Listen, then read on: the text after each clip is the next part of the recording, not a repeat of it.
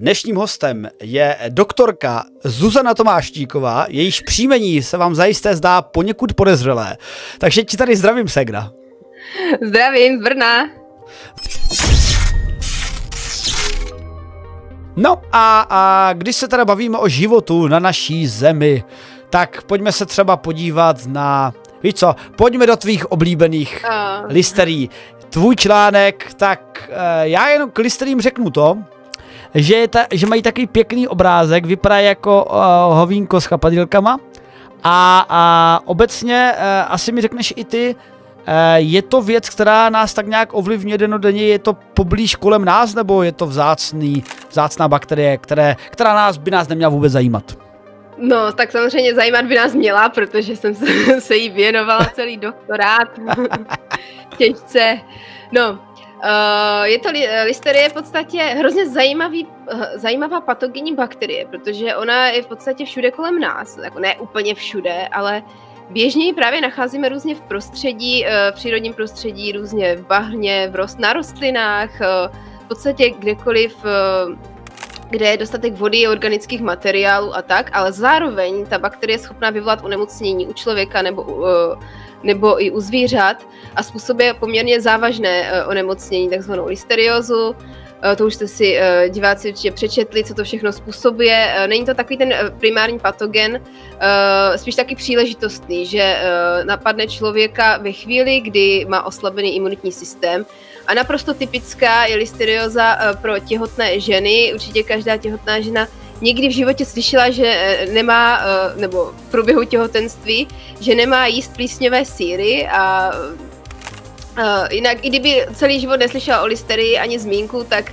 v těhotenství se člověk dozví, že nemá jíst tyhle ty věci nebo různé takové ty dobroty, jako jsou různé vlašské je... saláty a šunky. Ale zajímavé, že jsem Terezu napájel celou dobu takovým dobrota.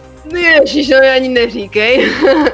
no, takhle. Uh, já jsem samozřejmě dělala na tom nějaký výzkum, takže vím, že nejvíc těch listerí bylo v masných výrobcích, to vám tady klidně tajně prozradím. uh, ale ano, i v těch vlastních sírech uh, takže uh, prostě těhotné ženy jsou, myslím, 20krát dokonce citlivější na listeriózu než běžná populace. Jinak uh, daleko častěji než těhotné uh, jsem se setkávala s pacienty staršího věku, takže důchodci s různými komorbiditami už prostě měli spoustu jiných chorob a měli oslabený imunitní systém, tak na ně potom ta listerióza zautočila.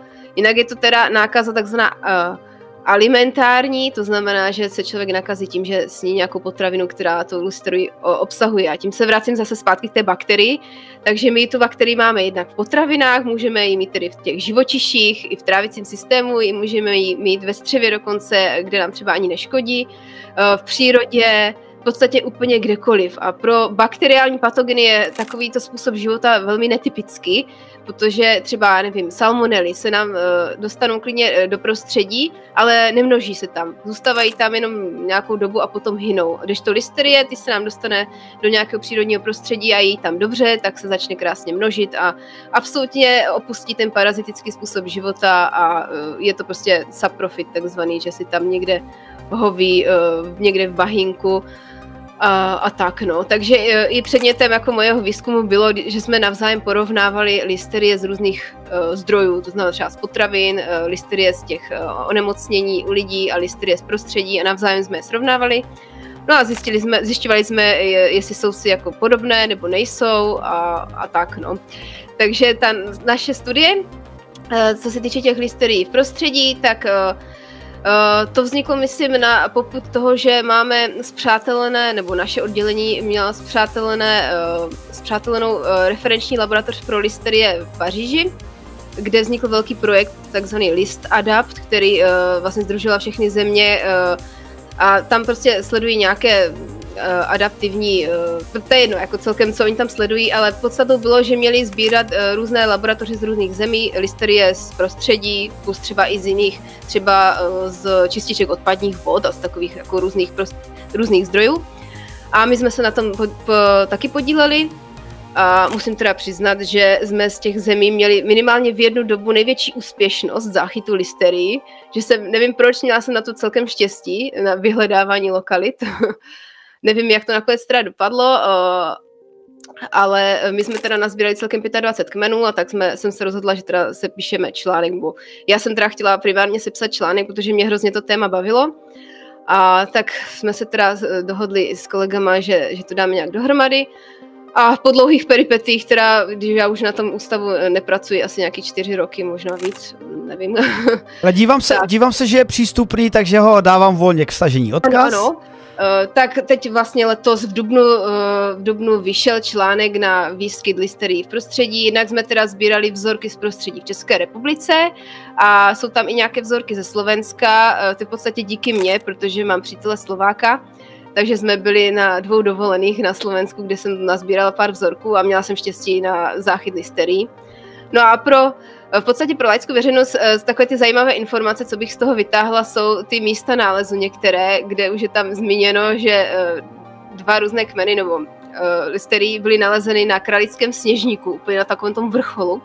Jestli tam někdy někdo byl, tak ví, že tam je kurňa kosa, a co jsem potom zjistila, že to je jedno z nejvíc nehostinných míst v České republice. Tam je snad průměrná teplota kolem jednoho stupně Celzia, průměrná roční teplota, je tam fakt strašná kosa, obrovské vychry, prostě naprosto hnusné prostředí a v tom bahínku pod pramenem, kde pramení řeka Morava, říkám to doufám dobře, tak tam jsem našla dva samostatné kmeny Listeria monocytogenes, což prostě mě úplně fascinovalo výška snad, já nevím, kolik to bylo, přes tisíc metrů nad mořem, prostě naprosto nehostinné prostředí. A potom máme ještě jednu vysokohorskou listerii ještě ze Slovenska, eh, kde eh, v nízkých Tatrách jsme zase v jedné studánce eh, nalezli další kmen listerie. Tak to je z těch zajímavých nálezů, jinak většina nebo ty další byly tak různě v nížinách, kolem řek, kolem jezer, kolem, kolem různých rybníčků a vodních ploch jsme nacházeli.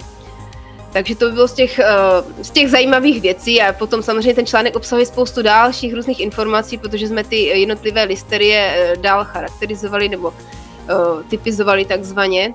Na to používáme takzvané typizační metody. V podstatě určujeme různé poddruhy a porovnáváme je mezi sebou. Hele, a, a, teď, taky... a, teď, pro, a teď pro lajka, jo? No. Uh, takže vy jste našli, já to tak nějak schnu, vy jste teda našli uh, různé kolonie listerí, a které se ukázaly překvapivě být nejodolnější právě v všech nejnehostinnějších oblastech. Ano, ano. Tam bych skoro typnul, že na tom, že tam byl nějaký jakoby evoluční tlak, že pro, prostě vydrželi ty odolnější a ty se pak nadále množili a dneska to máme ještě v další novince, takže...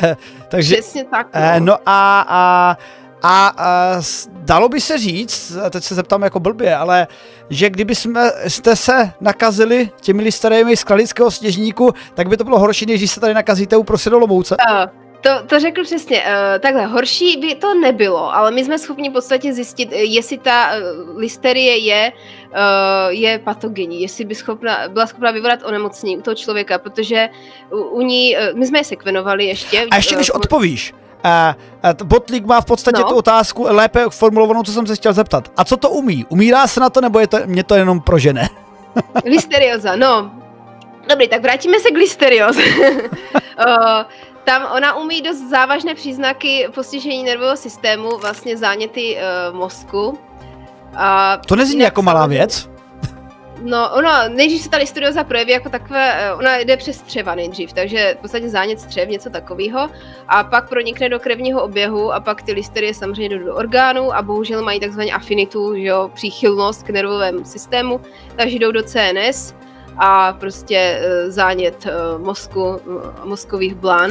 Má to až 20% umrtnost, není to fakt sranda. A právě hodně těch starých lidí, co opravdu dostanou listeriózu, tak na to potom nakonec umřou, už vlastně jako sekundární infekce k těm nějakých jejich dalším komorbiditám. Ale co se týče těhotných, já bych se toho zase tak nebála. Ono těch případů uh, listeriozy v ČR je kolem 30-40 ročně a z toho ty těhotné jsou třeba jenom 1, 2, 3 případy. A dá se to léčit? jako... Samozřejmě se to dá léčit, dá se to léčit antibiotikama a já můžu teda uh, říct, že uh, co se týče antibiotické rezistence, které se strašně bojíme u jiných bakterií, jako třeba u salmonella, tak uh, listerie včera jsou teda dost v pohodě, protože já jsem za celé své studium nepotkala rezistentní listerii na žádné z antibiotik, které jsme testovali. Tak doufám, že jsem to špatně neanalyzovala. Ale opravdu jsme nenašli žádnou rezistentní listerii. Uh, nějaký geny rezistence jsme tam našli, ale to jsou geny, které už jsou jakoby přirozenou součástí toho jejího genomu, tak tam byly očekávány. Ale zrovna na ty antibiotika, které se používají k léčbě listerios, tak uh, ty naše české listerie mm-hmm. byly, uh, byly vlastně citlivé. Takže toho bych se nebála, dá se to dobře léčit. Antibiotiky samozřejmě a zase postižení mozku je blbé, no, jako zánět mozku.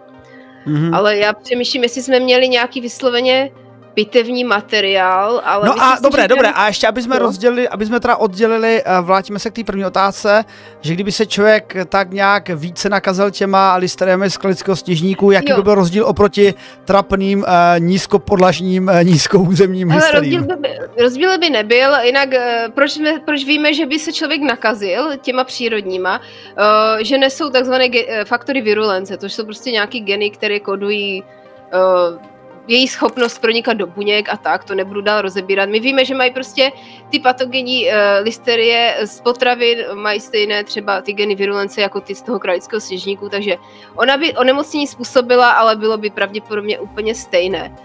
Uh, my vlastně uh, takhle bych to řekla, uh, nevím, jestli, uh, dodnes se neví, jestli jsou některé kmeny uh, listery víc virulentní než jiné. Uh, o některých se to myslí, ale úplně se to tak neprokázalo, ale ví se stoprocentně, že existují ty, které mají oslabenou tu virulenci, ale to se teda netýká uh, těch našich přírodních. Uh, myslím, že jsme tam, uh, je to konkrétní prostě uh, podtyp listerie, která má tu virulenci oslabenou, to je taková zajímavost. Uh, ale uh, prostě ty z toho kralického sněžníku by onemocnění samozřejmě vyvolat mohly, ale nevyvolají ho, protože na onemocnění potřebuje určitou infekční dávku.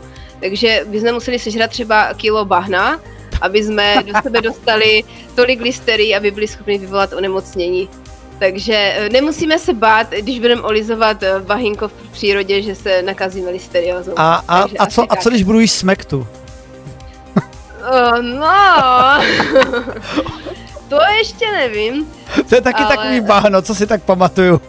To, ano, ano, přesně tak. Nedávno jsem měla taky tu čest, takže ne, ne, ne. Z bahna se nenakazíte, je to spíš taková zajímavost, že ty listerie jsou v prostředí a oni mají schopnost, jsou takzvaně psychotrofní, že dobře přežívají v prostředí, kde je zima takže ty hory a prostě eh, takové ty studené potoky a břehy jim hrozně vyhovují. A moje osobní teorie je ta, že tam tak jsou to úspěšné, protože eh, ostatní bakterie tam třeba nejsou zas tak to, není jich, to, není jich tam tolik, takže ty listerie se tam můžou dobře projevit. Ono se totiž teoreticky říká, že ty listerie je jich nejvíc z různých, eh, tam, kde je hodně organického materiálu, teplo, bahínko a tak a prostě někde, já nevím, nějaké močály, dejme tomu, mm. ale to není, nepřijde mi, že to je až tak pravda, že tam spíš se uplatní ta konkurenční mikroflora a že jim se teda spíš daří někde tam na tom kralickém sněžníku, kde nikdo žádná další bakterie neotravuje a můžou si tam tak pěkně fungovat. Ano, a jsou, jsou králové hory v podstatě. Ano, jsou to králové kralického sněžníku. Hele, pak Takže... tady máme jednu hyp, jeden takový eh, hypotetický dotaz. A jestli by e, se nedali, když jsou to tvé oblíbené listerijky, si by se dali nějak zapřáhnout, třeba e, přes GMO, aby rozkládal nějaké hormony nebo chemikálie v čističkách, jako že by dělali něco pozitivního, víš, že by jsme, že by jsme takzvaně weaponizovali, protože předpokládám, že e, dotaz Stanislava se trošičku e, obrací k e, nedávným výzkumům, které lítají zleva zprava, že třeba Eh, CRISPR-Cas9, že ho využívá eh, nějaké ty virové vektory k tomu, aby byl schopný eh, naprosto precizní genové modifikace a vlastně využívá schopnost, kterou se naučil u virů, a nebo mm-hmm. že existují bakterie, které se teď využívají pro rozkladání uh, polymerních materiálů v podstatě v, um, v od, ne v odpadištích, ale pro zpracování polymerů zpátky, techni, technicky za to zpátky na ropu. Dokonce je to takový český startup, o kterém jsme měli novinku zhruba před půl rokem, a jsem zvědavý, jestli z toho něco bude, nebo to úplně vyšumí. E, že nějaké takové jako zase spalivování plastového odpadu biocestou. Takže jestli by se i listery dali tak nějak jako zapřáhnout, aby něco dělali a neflákali se. Jako nevím o tom, ale možná do budoucna. Myslím si, že bych tohle přenechala jiným bakteriím. Ty listerie jsou zase zajímavé z jiného hlediska, tak eh, ano, to je prostě otázka pro jiné bakterie. Oni tyhle vlastnosti nemají, že by někde rozkládali nějakou dřevní hmotu nebo něco. Uh, ale jsou to určitě fascinující patogeny a když budete mít čas, tak si přečtěte ten velmi dlouhý článek. Ano, ano, máte na něho odkaz. Že není tak nudný. Ale je, ano, je, má, má 10 stránek a, a radši ho nebudu číst, protože zrovna teď recenzuji další články, ještě bych ti tam našel A kdybyste chybičku. náhodou měli profil na ResearchGateu, tak prosím přečtěte si ten článek na ResearchGateu, protože já sbírám ready, jo. Tolik nejnovější novince na kanále Vidátor. Pokud se vám video líbilo, dejte like, koment nebo přímo odebírejte celý náš kanál. Pokud se vám něco nelíbilo, napište to do komentáře a minimálně nám zlepšíte dosahy a také třeba zlepšíte i to, jak v budoucnosti budeme dělat naše videa.